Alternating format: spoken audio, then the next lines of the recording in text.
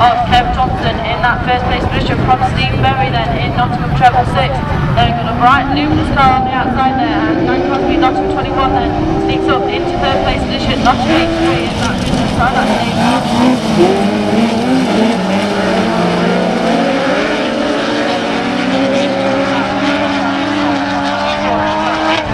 Back out the front of there's a good battle going on between the first three cars then, and Nottingham 88 is in the first place position.